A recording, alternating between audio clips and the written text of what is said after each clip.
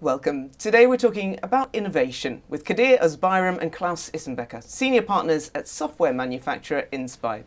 Now, with core competencies in enterprise architecture and transformation management, Inspire was named a top 100 innovator in Germany recently. So let's find out why. Welcome to you both. Firstly, Thank you. what makes a top 100 innovator in Germany? So that's a secret. We can't tell you. no. I think there are multiple aspects of being a top innovator in Germany. Uh, we survived the question of 160 questions. I think that's not what you're interested in. I think, from our perspective, what makes the key difference, and because we're here to share a couple of best practices today, is the first thing is really the overall setup. It is really the vision you have as you know entrepreneurs and looking forward, you know, where you want to go. So the visionary approach you are taking. So that is, I think is a very key thing. And you need to set up an environment where the team, which is very important and essential to be innovative as well, to enforce creativity. Of course, it's a little bit tricky when you have a purely home office environment that completely virtual is set up, but I think those are the first two important things you need to do. The third thing is, is again in alignment with the vision and the goal you want to do, because as a technology manufacturer, you want to be ahead of the curve. So that means everything you do needs to be better and you need to have that competitive advantage. Otherwise, you know, what's the point? But just having an idea and being, you know, innovative, and for us, in, in, innovation is coming basically from inspiration, which is coming then from a spiritual perspective, right? It's the spirit, the inspiration, and then the innovation. The last important thing we see is the transformation which means basically the execution of that idea, you know, bring it on the road, make it tangible, and bring it on the market, which then brings in the monetary aspect of it. So innovation doesn't mean just to have that idea, you know, uh, an academical approach. It is really have the idea, have the team behind that, execute it, and then you get some kind of value of that. And not yourself as a company, not just your employees, it should be the value of the customer. Mm. Sounds very grandiose, spiritual, no less.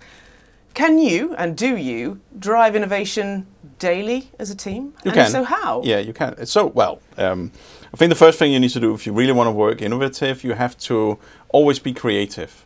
I wouldn't say it's like a playground, but it's kind of similar. So that means you often challenge what you have. You bring input in from you know internal people. You use the clients. You use prospects, and you are not egocentric. So you have to remember that the journey is the value itself. It's about finding the new ways, changing the new ways. In the end, it doesn't really matter who came up with the idea, right? As long as someone is not saying, "Oh, that's my idea, that's awesome, forget all the others," you know, then you're not innovative. Then it's an ego game. Here, you play it up against each other. We always do that. We have what we call the devil's advocate. So if I have a good idea, I know Kadir will always take the extreme opposite, and then we play with that, and we see where do we land. We do the same when we work with our clients. We do the same with the internal uh, IP development team, basically everyone. And that's about, you know, you play with that to really create the best ideas. And that's the cool thing. That's the fun part. In the end, I think that's why we're here. That's why we are doing what we're doing, mm. because we enjoy that a lot. Money, yeah, of course, it's important, but money is an enabler to do the things you do, right? So does that make sense? So that's yeah. kind of the innovative spirit of why we do it is because we're both driven in the sense of let's create something that's better. We can do that, of course we can, right? But we need to play with it because no one has that full competency. So if we're just playing around with each other, get the inputs, and see where it lands. Mm. So having teamwork, great communication, a little bit of fun thrown in as well. So what other advice would you give to anyone who's starting a tech company? The, the likely challenges, the pitfalls, and how you can overcome them? Listen to your customers. I think your idea may be fantastic, but as long you are not solving a real problem of your customers, forget it, you will not be successful. And this is what we take as well as part of our innovation. And being a top innovator was as well one of those questions what are you doing with your customers in terms of open innovation and your partners? And that is really essential for yeah. us. So, for instance, to give you a tangible example, is we have a formalized quarterly sessions with our customers. We call them Inspirator. Right? So it, it's a good fit as well to Inspire. So it's Inspirator sessions where we go in and show our roadmap, our ideas, and as well the ideas from our customers we have captured the last quarter uh, within the last quarter, and then go in and do a reassessment.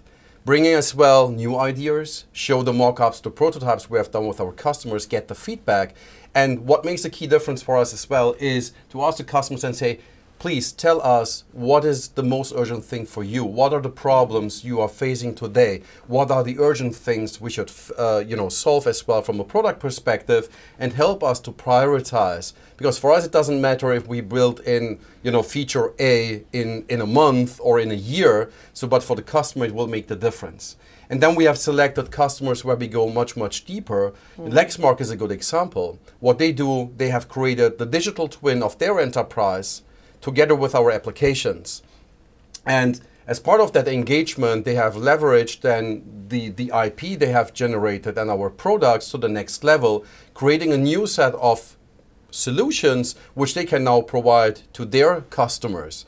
So, and this is exactly what we're looking for. And I think this is really innovation. What they're doing is just cutting edge. It's completely next level. And we're just happy to be part of that. So in that case, we are enabling customers to create new solutions, new um, uh, new proposals, you know, to their customers on the market, which makes, uh, makes us very, very proud. I just want to ask you, once you've got your company up and running, how do you then step it up to the next level?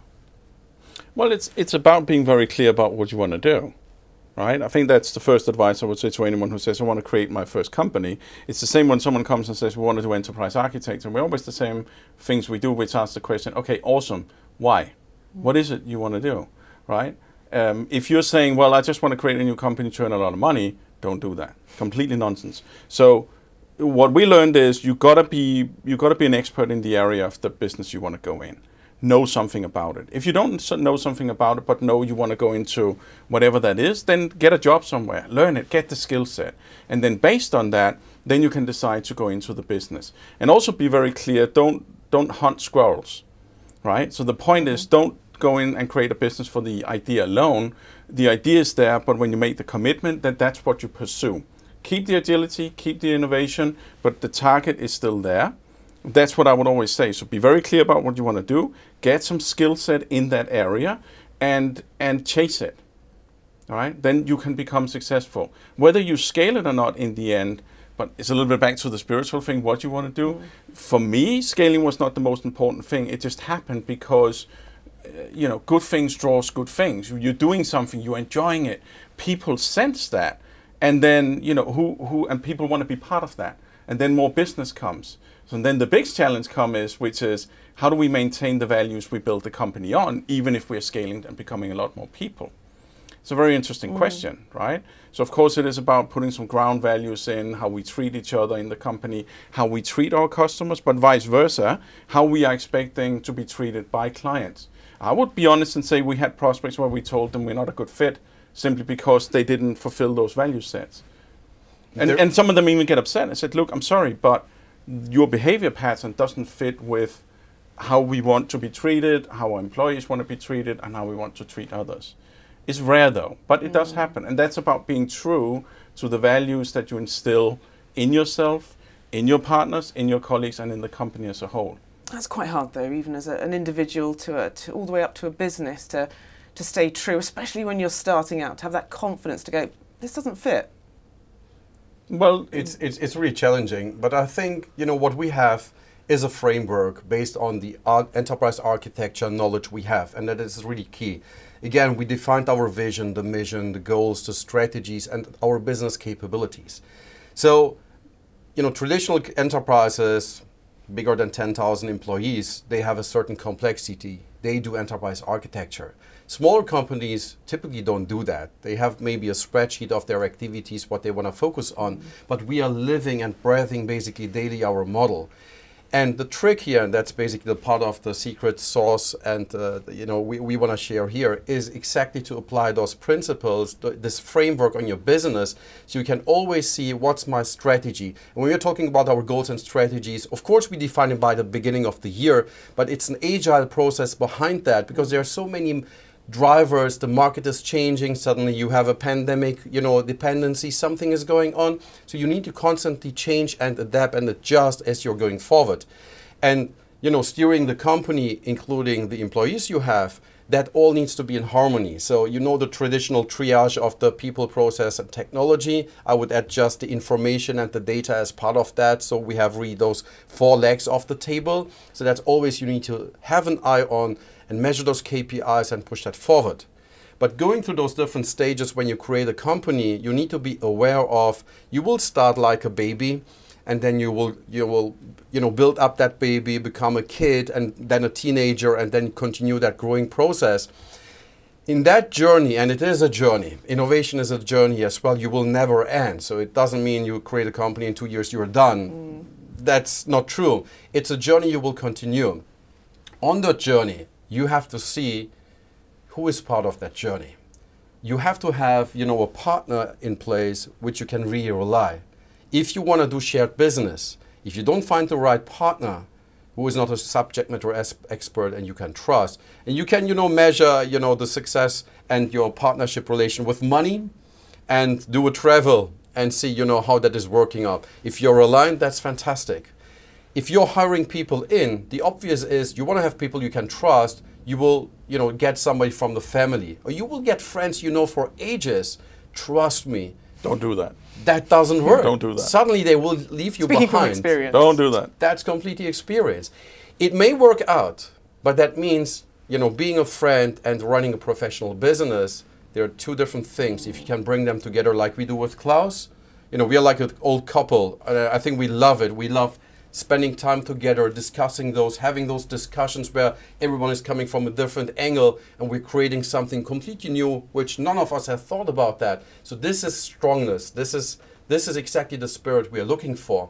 So if you create a new startup, a business, know your stuff, know your business, be a subject matter expert, then surround yourself with experts who can complement you. Mm. And you know, set up a creative environment where the team can contribute. So we are very fortunate. We have fantastic team behind us, you know, who, who is supporting us coming with new ideas. But it depends as well on the leadership level and the style we do. We have a flat hierarchy. You know, we bring the team to Barbados, to the Dom Rep, doing crazy stuff but we enjoy the journey. Mm -hmm. It's great, you know, to eat and having lunch in front of the house of Rihanna with the team on the boat. you know, it's, it's just fantastic. We enjoy that. Uh, it, it's not just maximizing the money, it is something to give back to the, to, the, to the team, you know, to the community. She could have come out and said hi. Well, that's a different. She question. wasn't there, unfortunately. Next time. There. Yeah, there we have if it. She, if she had been there, she could, yeah. she could have come out. I mean, you talk a lot about the process, and I'm glad you mentioned about innovation being a, a process, a journey, because that's exactly what it is, isn't it? It's, it doesn't end. There's no end point to it. So then where do you see yourselves in four, five years' time as a company? I think we're still we're still pursuing according to the original values, which means we will still go ahead and innovate. You will see new things coming out of Inspire that's not on the market today. You will see new crazy ideas. Probably because of that, we'll probably have grown. I think that's just a natural thing of that how else we will come? It's a good question. I think it's one of the things as well you got to realize when you build a business is you don't have the end result, you know, at the end. You have a vision, but how you actually end up as the business, you can't predict that. And you need to make that acceptable in your head and in your business partner's head because it's the journey itself that brings you there don't stick too much about some pre-idea that we will end up here with 100 employees and we will drive Porsches and I'll do all of this crazy nonsense, right? Uh, in the end, it's about have an idea, but always be agile and use the innovation to, to bring you where the, where the journey takes you. Where will we be? I don't know. What it looks like at the moment is we will grow. We will have new cool things coming out because a lot of things are going on in IP development. We have an awesome team. Probably there'll be even more. Um, I don't know, but I can guarantee you we will be in a, in a happy place because we pursue what we truly spiritually and personality-wise believe in. Wonderful. Thank you so much, Klaus and Kadir. Thank Pleasure. you.